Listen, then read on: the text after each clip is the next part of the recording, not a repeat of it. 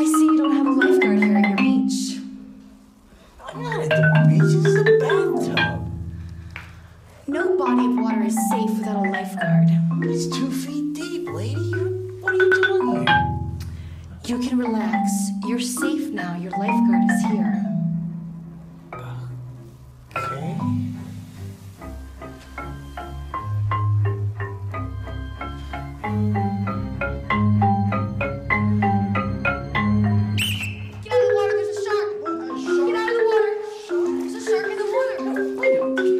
In the bathtub. Aren't you glad you had a lifeguard here to save you?